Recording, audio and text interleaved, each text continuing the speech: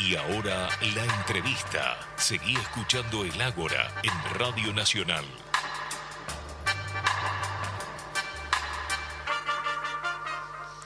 Bien, el viernes 6 de noviembre fue el bicentenario del primer izamiento de la bandera argentina en las Islas Malvinas. Para esa fecha hubo una campaña muy interesante para visibilizar el mapa bicontinental de la República Argentina, porque cuando hablamos de Malvinas y decimos que las Malvinas son argentinas, no hablamos solamente de las Islas Malvinas, hablamos también de las Georgias, de las Arcadas, de la Sandwich del Sur, de la Antártida Argentina y todo el espacio marítimo ese, que cuando uno lo ve en el mapa ve que tiene un país mucho más grande de lo que cree y que se extiende mucho más al sur de lo que pensamos, un sur que ha, sido invisibilizado en gran medida en nuestra historia. Y para comenzar un poco más sobre estos temas que hacen a la cuestión Malvinas, vamos a conversar ahora con el periodista Daniel Guzmán, que además es integrante del Observatorio Cuestión Malvinas y director del portal Agenda Malvinas, que como su nombre indica, está especializado en esta temática. Daniel, buen día, ¿cómo estás? Victoria y Juan Ignacio te saludan.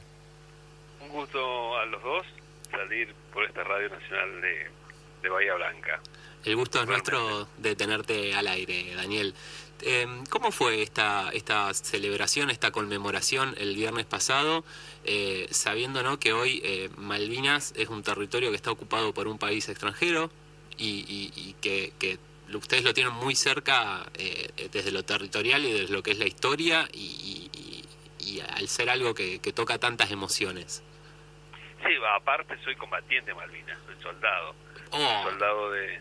Este, ¿Sabes que no tenía ese dato? Tantas veces hemos conversado sobre Malvinas y se me ha pasado ese dato. Pero no pasa nada. Bien. De, soldado del Regimiento de Infantería 25. Ese dato.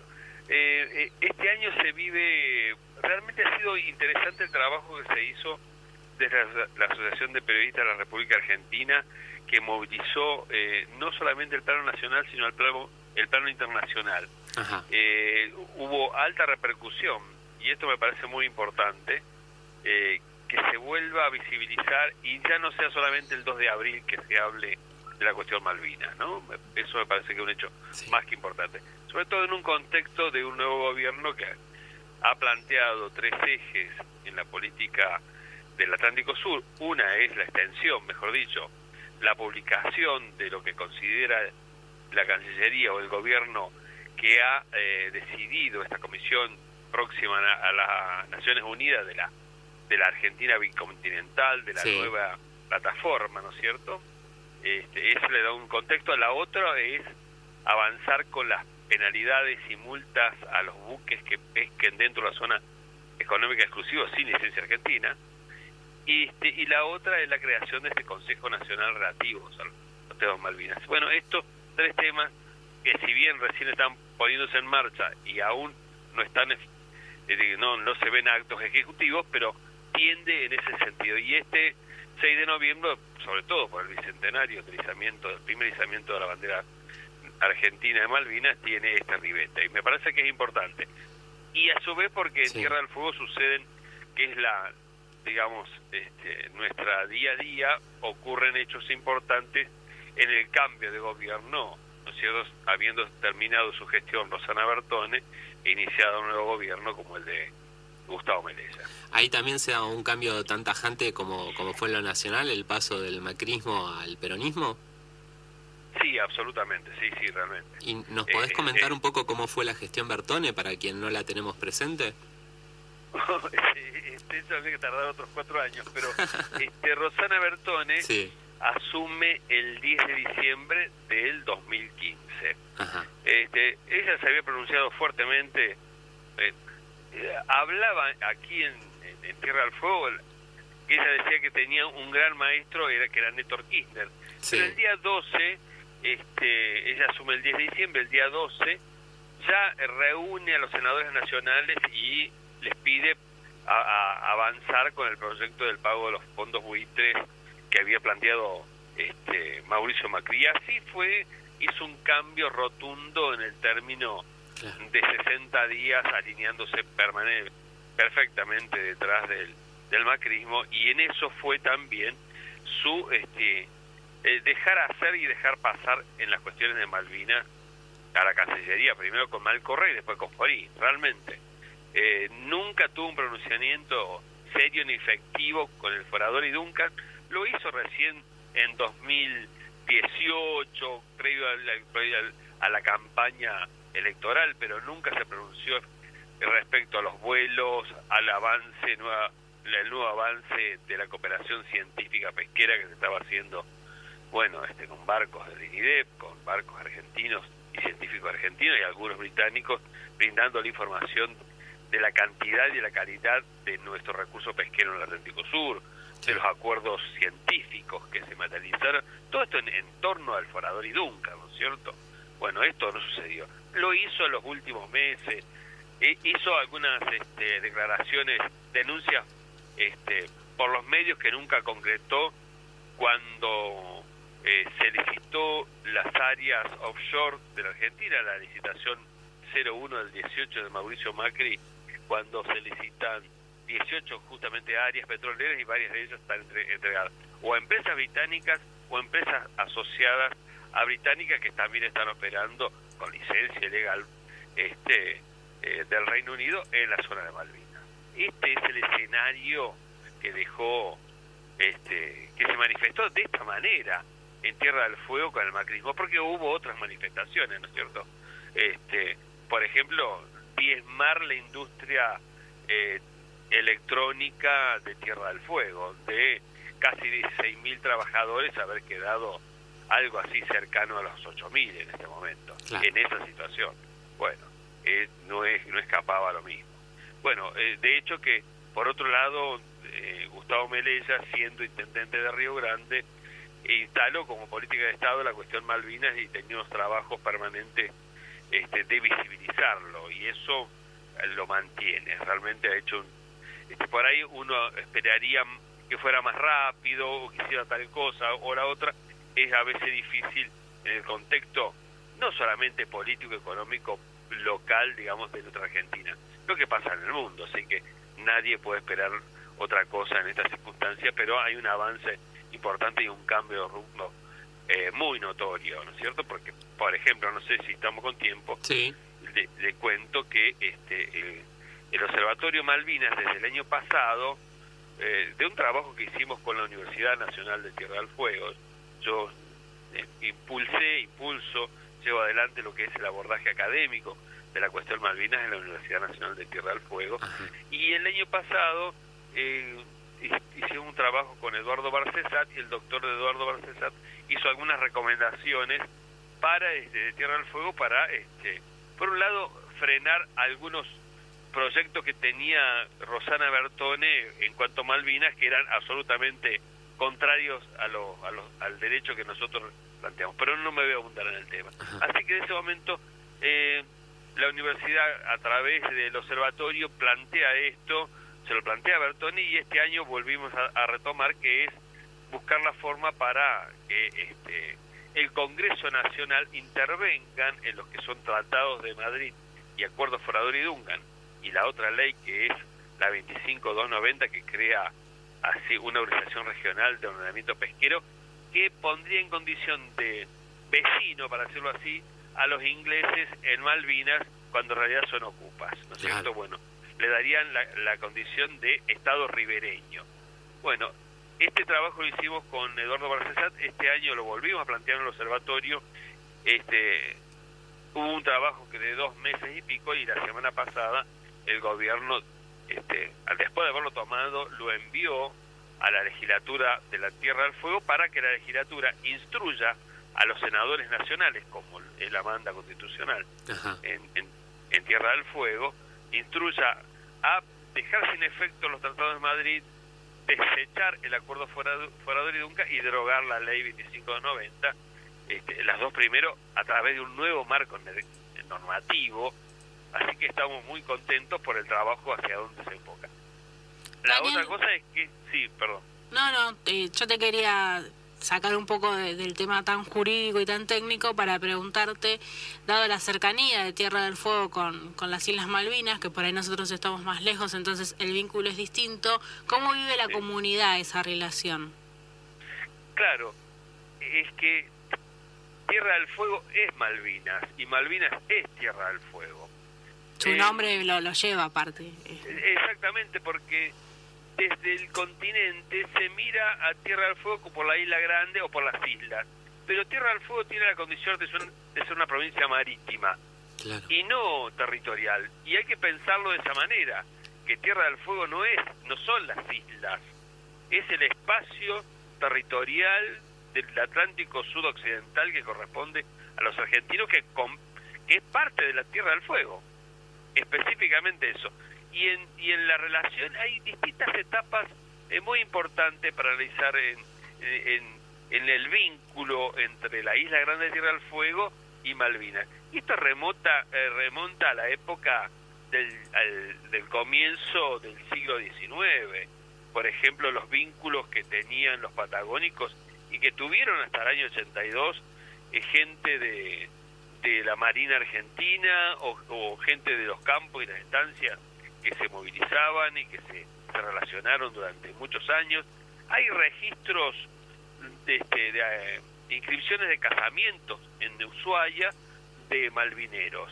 Y el, y el hecho más concreto es que eh, en- entre el año 70 hasta el año 82, cuando se abre toda esta nueva etapa que había sido este, los acuerdos de asistencia y cooperación, donde vuela la ADE, donde estaba acá del Estado, donde había escuelas bilingües, este, donde estaba IPF, los hijos de los isleños venían a estudiar a la misión salesiana de Río Grande, así que hay un vínculo eh, muy grande. Y a su vez hay familias muy viejas relacionadas, por ejemplo los Sutherland, ahora digo un, un apellido que me acuerdo así de memoria, que están tienen eh, las, los abuelos de estos amigos míos han nacido en Malvinas, así que hay todo. Y la otra etapa es la guerra, la guerra es, tan poderoso, lo que pasó sobre todo en Río Grande, ¿no es cierto? Este, todas las operaciones de los aviones de la, de la aeronaval y de la Fuerza Aérea que salían, ¿no es cierto?, de Río Grande, Río Gallegos este, y Comodoro Rivadavia principalmente, y San Julián. Entonces, bueno, tiene otra con, otra otro, otra connotación tan poderosa lo que ha hecho que ha llevado a Río Grande este, simbólicamente a ser la capital nacional de la vigilia. Claro. Así que bueno, y en estos años que, bueno, es- se, se eh, Tierra del Fuego y intenta tener mucho más conciencia de lo que está pasando, ¿no es cierto? Esto de haber puesto Gustavo Melella en como política de Estado, aún siendo intendente, a llevarla a un nivel de debate tan fuerte, es importante. Cosa que antes medio que se la miraba desde lejos lo que hacía la Cancillería. Un dato para cerrar, Sí, la constitución de Tierra del Fuego en ningún lado, ni en el preámbulo, ni en ninguno de sus capítulos o artículos figura la cuestión Malvina. Ah, Un dato, ¿no es cierto? ¿y la Entonces, constitución bueno, de, de qué mm, de qué año es? La constitución de Tierra del Fuego es del año 92 o Claro. 93. Claro. Exactamente. Después La de la guerra, pero la en el buscando. momento más desmalvinizador del país, digamos. Porque era un Estado nacional, Tierra del Fuego, hasta Claro. el 94. Exacto, era un territorio nacional. Claro. Hasta el año 90, hasta el 26 de marzo del año 90, que el Congreso Nación dicta la, la ley de provincialización de Tierra del Fuego, este, hasta ese momento. Digamos, era territorio nacional. El último territorio nacional Claro. de la Tierra del Fuego devenido de la provincia marítima, del territorio marítimo de la, de la Argentina, de, de esto que, ¿no es cierto?, que había sido por muchos años, por un lado, el coto de la Marina, Sí, donde se manejó, y por otro lado un lugar donde este, se, se potenciaban los litigios con Chile que llegó hasta no es cierto hasta el año 78 bien. así que en, en esta en, en esta política de asentamiento hay una ley especial en Tierra del Fuego que es de poblamiento todavía que que es parte de eso que es la ley 19640 que es una ley de promoción económica y fiscal para radicar argentinos en el sur Claro. y esto está, digamos, al mandato. Pues en esta nueva etapa y en este primer año, a pesar de todas las vicisitudes que vivimos los, los, los seres humanos en este planeta, en específico los argentinos, da la sensación que eh, eh, vamos a ir hacia algún lado. Por el otro lado, el, el Consejo Nacional relativo a Malvinas, Sobre eso te quería tiene- consultar. sí, Eh, no, ¿cómo, ¿cómo ha sido el funcionamiento desde su creación? Entiendo que fue creado en, en agosto y bueno, está en proceso de conformación, ¿cómo está, ya está funcionando? ¿Cómo va eso? ¿El Consejo Nacional? Sí. Recién fue, digamos, este designados sus, sus, sus integrantes la semana pasada, justamente. Son 28 miembros conforman este, el Consejo Nacional. Lo preside el presidente de la Nación, junto con el canciller Felipe Solá, el secretario de Malvinas Daniel Filmus. Después hay tres senadores que son eh, Jorge Tayana, Pablo Blanco, que es de Tierra del Fuego, Juan Carlos Romero, que fue gobernador de Salta durante la época del Menemato, ¿no es cierto? Este está eh, los diputados nacionales, Oscar Leiva, que es veterano de guerra, es combatiente, después está Suárez Lastra, radical, Federico Frigerio, sobrino del que fue ministro de Interior, de, eh, que se radicó en Tierra del Fuego no hace más de cuatro años y salió candidato, ni vive en Tierra del Fuego, pero bueno, estas cosas... Bueno, igual Juntos por el Cambio no logró hacer pie en Tierra del Fuego, en las últimas elecciones fue de manera pésima. Sí, de todas maneras tiene dos, dos diputados. Bueno, no es tiene poco. dos diputados todavía. No es poco. Que no es poco, ¿no es cierto? No, no, claro. de, de cinco, dos no es poco. Claro.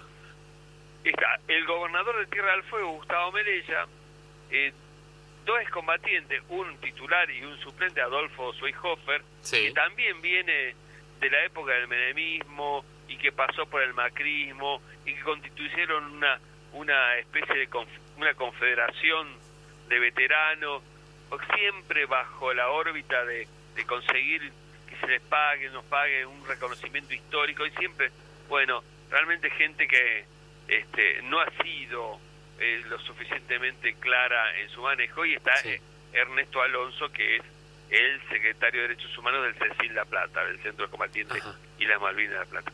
Después hay nueve académicos y juristas, de los cuales varios de ellos conozco, que me merecen mucha confianza, este y está como miembro honorario Adolfo Pérez Esquivel. Así que da la sensación, está, por ejemplo, Alicia Argumedo, que me parece una persona eh, muy seria y muy trabajadora, está Armando Abruza, que yo lo conozco hace muchos años, Armando Abruza me parece una persona este, muy sensata, eh, muy decidida, eh, muy dedicada a la cuestión Malvinas, este bueno, está el general Martín Balsa, creo que tiene un rasgo, ser progresista, para decirlo. Bien. En sentido, ¿no? bueno, es auspicioso entonces la conformación del Consejo. Hay que ver cuando cómo funciona después, ¿no es cierto? Bien. Hay que verlo. Así que... Pero bueno, me, me parece que llegamos a un fin del, del 2020 con mejores expectativas de la que teníamos el año pasado para esta época. Sí, sí, sí, totalmente. Me acuerdo sobre el final del, gobierno de Macri, estos vuelos a Malvinas que se habían anunciado y demás, y no, parecía haber perspectiva, y aparte parecía tan lejano, por lo menos a nosotros acá en, Bahía Blanca, nos parecía tan lejano el tema Malvinas con tantas cosas que estaba pensando, y hoy sí creo que podemos empezar a, pensar en estas cuestiones que son estratégicas, no son de un día para el otro, sino de años y años y de, de persistencia en el tiempo de los esfuerzos.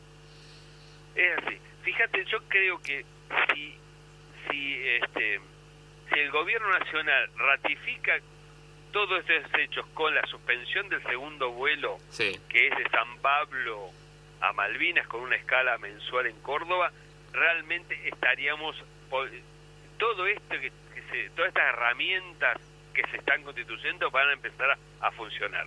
Si eso no sucede, podríamos estar al frente de una nueva escenografía claro. Eh, en torno a Malvinas para decir mucho y hacer poco. Sí, un discurso en un lado y las acciones en el otro sentido. Comprendo. Bien, bien, bueno, estaremos atentos a eso. Daniel, nos hemos quedado sin tiempo, pero te queremos agradecer por esta conversación y, por aportarnos todo tu conocimiento, bueno, una, una vida eh, con Malvinas.